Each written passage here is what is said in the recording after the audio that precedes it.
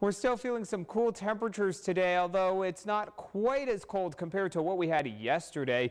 We are seeing temperatures at 68 degrees in Marquette, 66 degrees in Iron River, and 70 degrees in Escanaba. And for most of us, these temperatures are running about 5 to 10 degrees warmer than 24 hours ago. It's 7 degrees warmer in Marquette, 8 degrees warmer in Iron River, and 7 degrees warmer in Escanaba.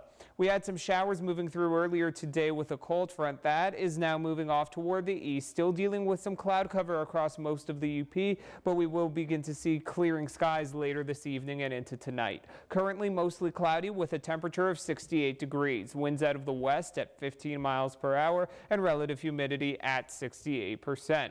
Around the country, the cold front moving through our area is heading off toward the east, to a really not an issue for us any longer, and we will be seeing mostly clear skies parked uh, over the upper plains moving into our area for the next couple of days. Down towards the tropics, that's where we are still seeing Hurricane Dorian as a Category 1 hurricane, producing wind speeds a little over 85 miles per hour. It is traveling toward the northwest, and over the next uh, three to four days, it is expected to intensify, becoming a Category 2 hurricane. That's what's in the forecast for later on tonight and into tomorrow tomorrow, strengthening to a Category 3 hurricane. It will then head westward toward the Atlantic coast of Florida, and at this point, the forecast from the National Hurricane Center calls for it to strengthen to a Category 4 hurricane. This is the forecast here for early Sunday morning with wind speeds over 130 miles per hour. So definitely strong winds packing a punch, but it will also bring some heavy amounts of rainfall and high storm surge with uh, anticipated la landfall along the eastern coast of Florida sometime sometime on Monday. Around here, we will be seeing plenty of dry weather. Bright skies tomorrow with a cool start in the morning. Partly cloudy with temperatures near normal for Saturday afternoon and a little bit warmer on Sunday with high temperatures reaching the middle 70s. For tonight, skies becoming mostly clear.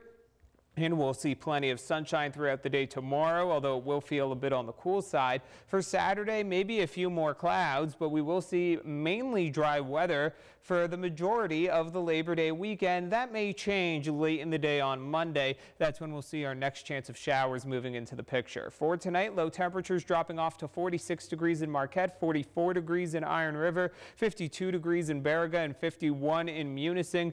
Tomorrow, mostly sunny skies, a breeze out of the northwest helping to keep these temperatures a little bit cool with highs around 67 degrees in Marquette, 69 degrees in Baraga, and 70 degrees in Escanaba. So for tomorrow, plenty of sunshine throughout the day with highs around 67 degrees. Early morning temperatures on Saturday starting out around 44 degrees, a high of 71 and partly cloudy skies. Partly cloudy on Sunday with high temperatures about 74 degrees, then a chance of showers moving in late day With highs near 72 degrees. A high of 70 on Tuesday with a chance of scattered showers and then becoming cooler in the middle of next week. A high of 65 degrees on Wednesday with partly cloudy skies and also looking at middle 60s for Thursday with mostly cloudy skies.